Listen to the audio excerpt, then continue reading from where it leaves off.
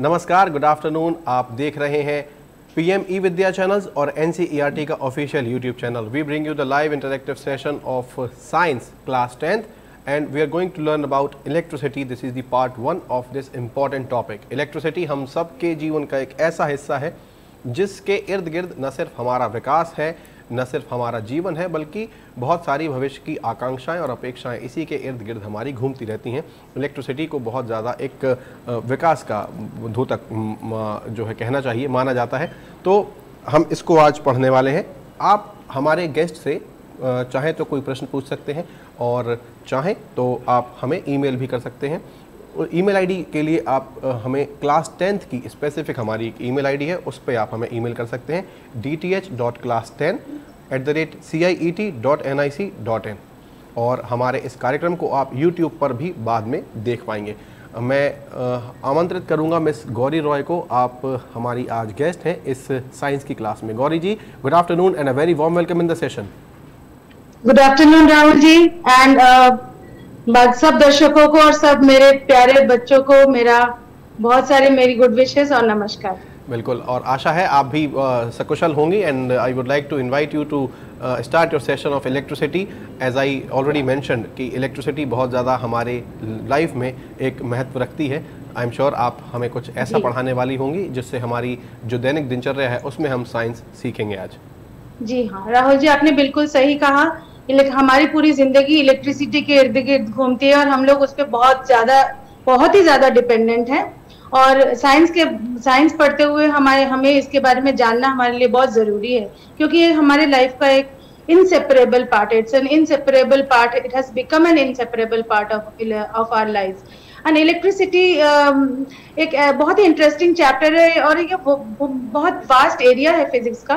और हमने इसकी शुरुआत ऑलरेडी कर चुके हैं। हम लोग क्लास सेवेंथ में एट में जहाँ हमने स्टैटिक इलेक्ट्रिसिटी के बारे में डिस्कस किया है we have discussed about static charges static electricity are moving on to uh, some not static but the flow of the charges so first we have learned about the static charges how the static charges behave means that well somewhere the charges are accumulated and how they behave so uh, as you said uh, that the electricity has got vast vast applications in our day-to-day -day life and this uh, picture shows that every every phase of our life is affected and it needs uh, electricity we cannot do with that yes so we are coming in this uh, unit of electricity it's a unit in standard 10 and we shall in this unit we shall try to find out the answers to certain questions that what constitutes electric current इस unit में हम basically electric current के बारे में बात करेंगे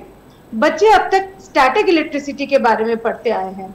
तो हम इलेक्ट्रिक करंट के बारे में बात करेंगे कि कैसे बनती है how what constitute this electric current how does electric current flow in a circuit and on what factors does the electric current this flow depend on what are uh, the devices we use to measure this electric current and what are the other effects which are there of this electric current. So there are many things we are going to learn and this is the introductory session. So let me start and come to this.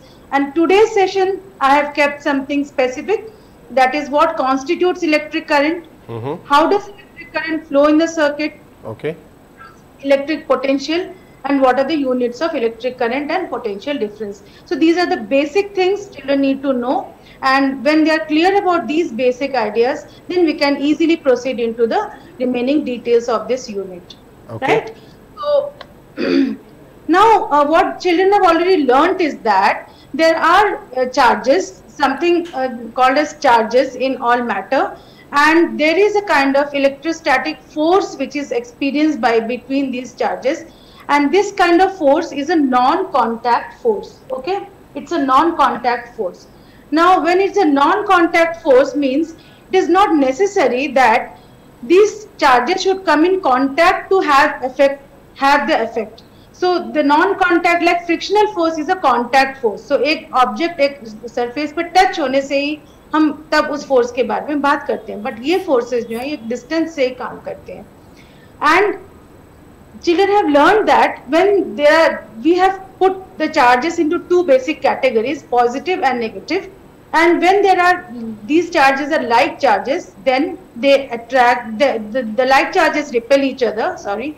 And the unlike charges they attract each other. This is what we have seen. And children already know. And they know that what are the basic things which are required to operate a circuit. So a simple electrical circuit let us see the picture of a simple electrical circuit. Now if you look at a circuit what is a circuit now, if you have a connection like this, where you have a cell, a conductor, then you have a resistance or a load, and then you have a switch. Switch is, of course, uh, required to switch, uh, break and join the circuit. So, if it is like this, so this is a, uh, this first picture is showing just a with the, uh, the, the symbols. And the second picture it is showing practically uh, this will be a circuit. Like the resistance would mean like a bulb or some kind of load across uh, which is connected in the circuit. Then the cell would operate the circuit. That is it would uh, the the electricity would come because of the cell. Now the thing is that why do why are we needing these things? Uh, each thing has its own importance here why are we needing all these things? Now, why do we need the battery uh, to get the electricity? Mhm. Why do we need सिर्फ battery होने से क्या current flow करेगी नहीं उसमें जो wire है that should be a conducting wire then only Okay. Will get electricity then these battery and conducting wire is very very important Uh, Mhm. again if there is some breakage in between in the conductor again the electricity would not flow so a continuity is required and where are they using the electricity हम उस electricity को कहाँ use कर रहे हैं? एक bulb जलाने के लिए, एक मोटर चलाने के लिए yes what where are we using it so these elements are making the circuit okay so this now see now let's see what is the importance now conducting wires and the cell, they are essential for the flow of current. Without this, we cannot have the flow of current. Now what is that there in the conducting wire? Why, it, why if you put a plastic uh, strip and connect will will it work? No it will not work. Why will it not work? There's something which is there which is helping the uh, conduction of current in this Yes. wires. So conducting wires they are the good conductors of electricity. Electricity. why are they good conductors? That is again the next question. So Mhm. the, they are good conductors. For to understand that we need to know a little bit about the atomic structure because these atoms or the mm, uh, the the constituent uh, the basic elements which are there which are making these conductors the atoms they have certain properties which which is making them a good conductor. That means this this these particular uh, metals or the elements or the materials they have something in them which is helping in the flow of electricity in them. So what is that they have a large number of free electrons which are responsible for the flow of electric current. And what does the cell and or the battery do? The cell or the battery it gives a required potential difference. Now i'll be discussing what are, what is actually happening and i'll be discussing these two things basically.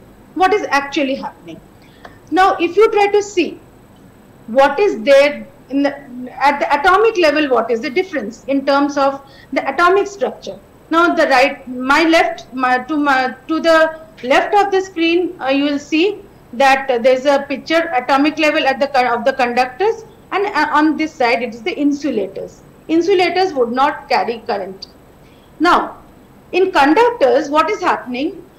The- we all have children have studied something about the structure of an atom and they all know that the electrons are around the nucleus that is they are found around something called the nucleus and inside the nucleus there are there are protons and the neutrons. The protons are positively charged and the neutrons are neutral.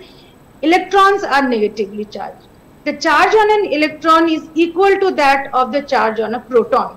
So atom as a whole as it is is a neutral one because it will have equal number of electrons and protons. But what is happening in case of conductors is that some electrons like see now the electrons are negatively charged and nucleus is positive. So there will be a good attraction force between the electrons and the nucleus because of the protons. But for the conductors what happens? That the electrons which are not very close to the nucleus they are not very tightly bound to the nucleus. They are not very tightly attracted to the nucleus. So they are relatively okay. free. Okay? Uh -huh. so like no when the teacher in the class is not taking care of all the students and backbenchers they'll be a little bit free. Okay?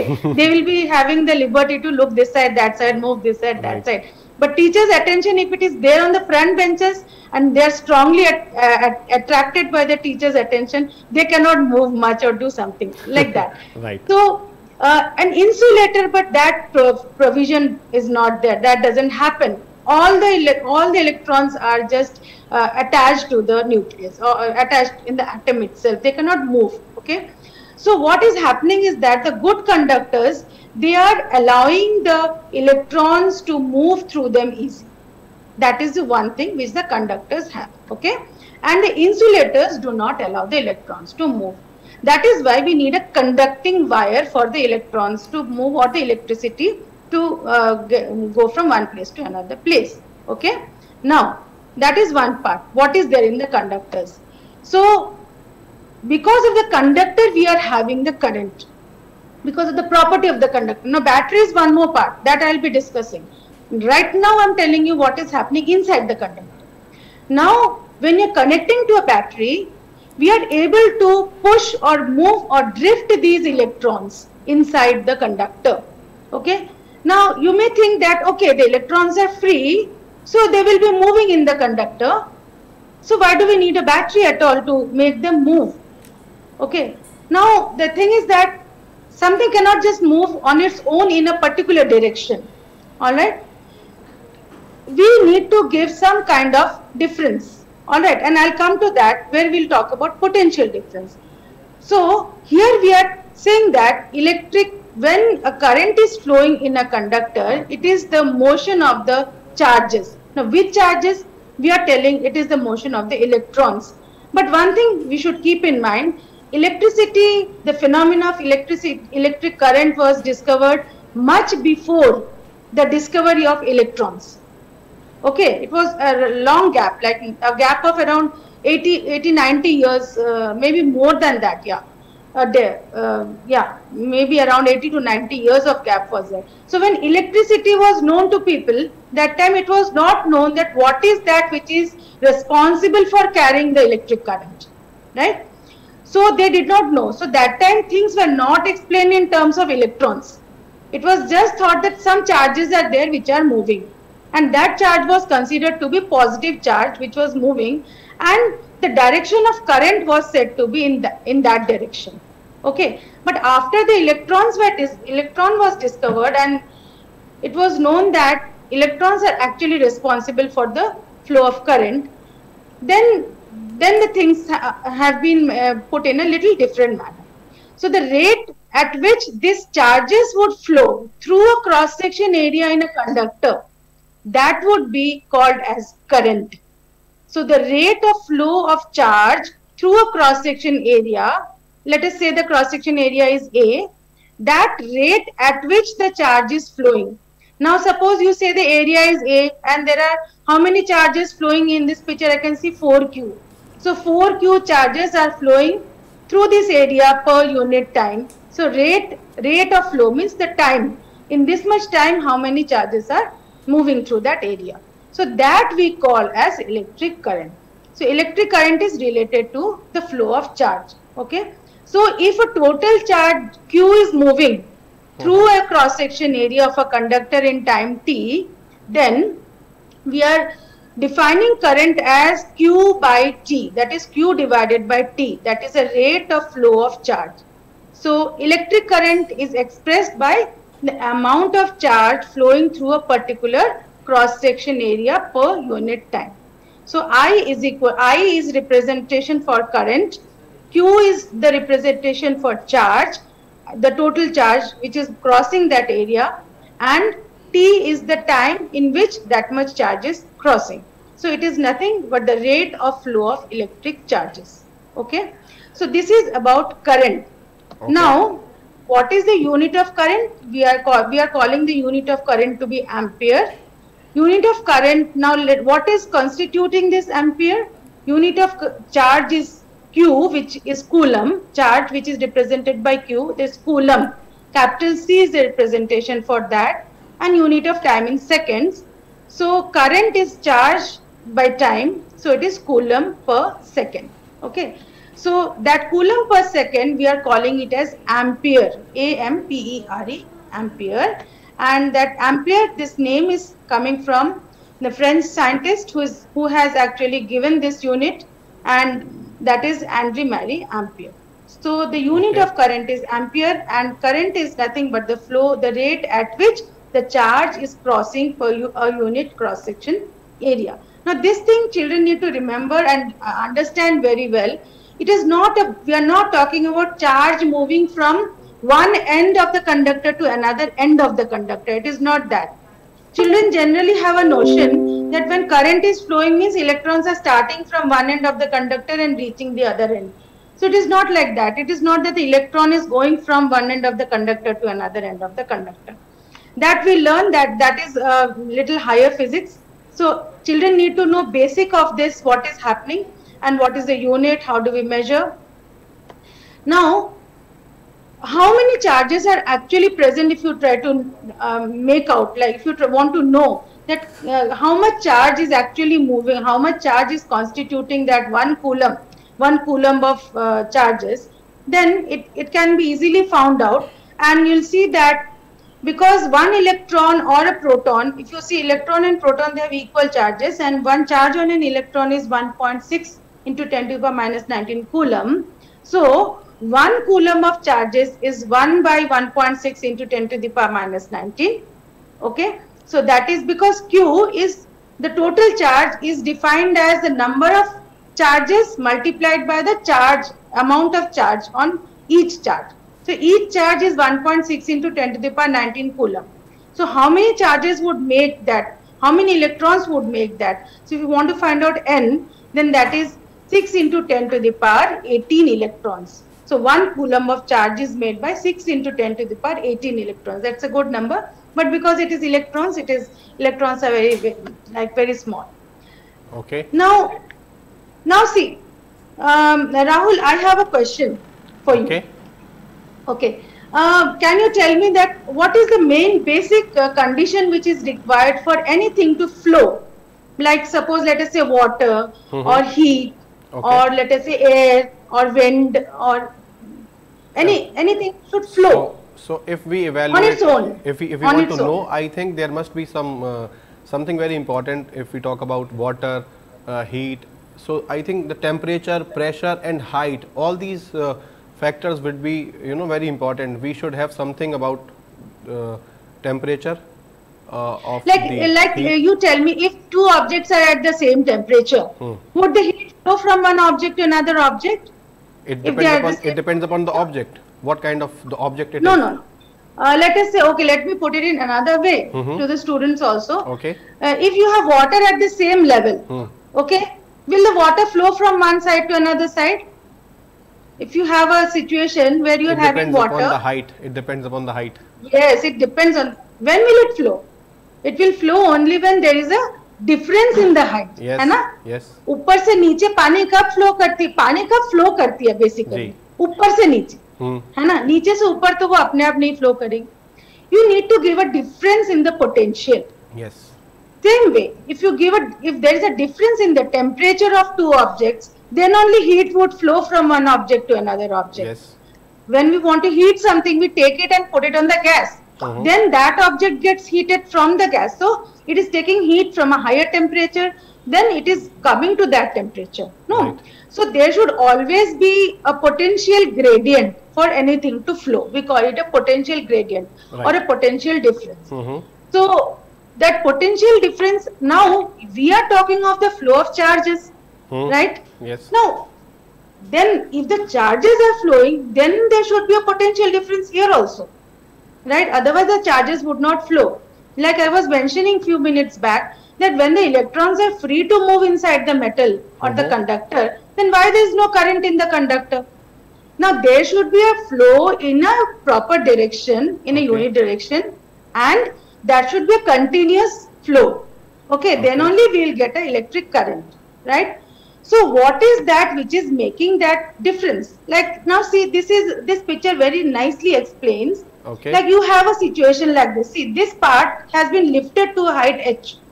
Okay. Now there are some marbles kept on this. Hmm. Right. Had it been flat, would the marbles flow move from one, one end to the other end? Had this been a flat, the whole thing would have been flat. Here I have given some height to this. But had it been flat, would the marbles move from here to down? No. Only because the marbles have been raised to this height and then a place has been given for them to come down. So the marbles would come along this and come come down. Okay. Okay. Same way, we need to create a potential difference. One side we need to create more charges and one side we, we should have a deficiency of charges. Now this charges is nothing but electrons. One side we, we can have a large number of electrons and on one end we can have less electrons. So the moment you connect those two ends, then what will happen? The electrons will start moving from where there is more electrons to, to that end where there are less electrons. Okay. So that is what is happening here. Marbles would flow down from here to here, down. Okay. Just because you have given them a particular difference in the height. Right. But and again, while flowing from here to here, if there are certain more things like posts, some obstacles are there, they would also touch or they will also hit those obstacles. The same thing is happening inside a conductor also. The electrons would move, but at the same time, they would also collide with the other ions which are already fixed in that metal or the conductor, okay, or that element. Okay. So this is the similar situation. That is why it is written. It's an analog for current flow, voltage, and resistance. We'll come to resistance later on in the chapter. But I just gave gave a hint that resistance would also come because because this would hit these obstacles and that would also create resistance. Okay. So that is why we need a potential difference. That means one one end will have some charges like more number of marbles at this and then suppose you don't have any marbles here if you connect keep this at a height and if you keep this down then the marbles would flow from this end to this end. Okay. same way the battery the cell which is there in the circuit it is also doing the same work. Same work it is doing. What it is doing? It is giving a potential difference. On one end of the cell there is more negative charges and on the other end there is a scarcity of negative charges so if you connect this negative charge this end which has got more to the end which has got less then the charges would flow from one end to the other end. But again i'll remind you children that flow is not that one electron is starting from here and reaching here. That is not happening. It is like you should think that the moment we switch on a, a- a- um, circuit or you put the electric uh, bulb switch on immediately the bulb glows it doesn't happen that the electron is moving from the point where you're switching it on to the bulb. That will take a lot of time okay? But there is something lot of more physics into it. Right now for understanding this is the situation we are giving. So this is what is happening when the electrons are when you are having a difference in the accumulation of charges. So then the charges would flow from this end to this end okay? So that is happening in the cell. So we are having a region of higher electric potential and we are having a region of or a point of lower electric potential. And the negative charges would move from the higher electric potential towards the lower electric potential. And the same thing we can say in terms of positive charge because the presence of a negative negative charge can also be taken like if you're telling that negative charge is moving from higher to a lower electric potential region okay equal and opposite charge we can talk in terms of positive charge also. And we can say that it would move from lower to the higher electric potential region. Because initially as i told you that electron was not discovered when electrical phenomena was already known to us. Okay. So what is happening is that the direction of current which we are giving is reverse to the direction of the flow of electrons. Electrons are moving from the negative terminal of the bad cell to the positive terminal of the cell but when we talk of the movement of the electric current then we say that the electricity or the electric current is moving from the positive terminal to towards the negative terminal. So the direction is not, the direction is just the reverse to the flow of the electrons. So direction of current is reverse to the direction of the flow of electrons. So this I have shown that if there is a, what is there in a cell, inside a cell or a battery, what is happening, that is chemical reaction is taking place. And Okay. when some chemical reaction takes place, then what happens on the electrodes? On one electrode, there is an accumulation of electrons, and the other electrode, there is a scarcity of electrons. So when you connect one electrode with the other through a load or a bulb, then what happens? These electrons would flow through the bulb and then it would reach, this would give the path. So this is what is happening inside a, the cell or a battery. So we the can connect this from our daily life uh, situations when we use cells, when we use battery Yes. for power, right? Yes, yes, right. All right. I would So like to I would like to request you to please conclude your session as we have hardly Yes. three minutes in this uh, session. Okay, yeah, it's almost uh, about to conclude. All right, thank so I just showed that how the electrons are moving and why are they moving and that is the potential difference. And as I told that the chemical reaction is generating this, uh, there's a chemical reaction which is taking place and when the cell is connected across the ends of the conductor, then there is already a potential difference between the two ends of the conductor because of the cell and the electrons would start moving. So this diagram is showing the flow of electrons. As you can see very clearly that the electron is flowing from the negative terminal to the positive which is actually happening. But conventional direction of current is the reverse that is it is we show it from the positive terminal of the battery towards the negative terminal of the battery so this this picture also flow of electrons is the green one whereas the flow of the uh, current is the red one so it is just the opposite uh, and this same thing can be explained with the water analog. Like, you know, I told you, what is there? The tank, tank where the water is stored. It is like a battery. Yes, Okay. okay. The pipes through which the water is coming is like the conductor. Okay. Through which the current is flowing. And if the pipe is broad or the pipe is narrow, then we, that gives a resistance to the conductor. And the last is the switch, that is a faucet. The faucet, if you on it, then only water would come out of it. And if you off it, then the water wouldn't come out. Same way, the switch is on or off will tell that uh, it is uh, running or not. So this is about it. And electrons move inside a conductor only when there is an electric potential difference in them. And this pressure electric pressure difference is called as the potential difference. Okay? So we have a new term which we call as potential difference. And we have to define that. And potential difference we are defining it in terms of work which is done to move a unit charge from one point to the another point All right. so how much work we need to do to move a charge, literally take a charge from one end to the other. So if you uh-huh. move the charge, you have to do the work against the electric field. So you have to, to move that charge, that work that is coming actually from the chemical energy. We are not taking a charge and moving, but the chemical energy is getting converted to electrical energy basically when we are using a battery. So that is about potential difference and unit of potential difference I should say that is volts. Okay, so that is uh, th- that is the unit of potential difference which is named uh, after Alessandro Volta who was an Italian physicist.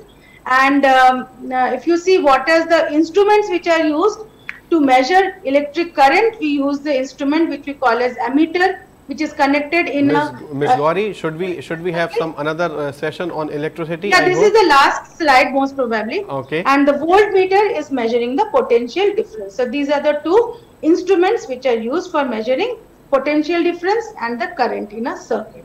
So this is all what I have for today. And Okay. uh, in the next coming sessions, we'll discuss in details. Mhm. But these are the basic things which children need to know Okay. about uh, electric uh, electricity, current Mhm. electricity. All right. Thank you very much. Uh, av- as you have explained some uh, basic things, and I think uh, the concept of electricity for the higher classes. This is the class 10th session. Thank you very much for joining us and to take this uh, session of science. Thank you very much. Thank you all. Thank you. ये science का session हमारा यहीं समाप्त होता है। कहीं मत जाइएगा। अभी हाजिर होंगे हिंदी का सेशन लेकर थोड़ी ही देर में। देखते रहिए पीएमई विद्या चैनल्स और एनसीईआरटी ऑफिशियल। नमस्कार।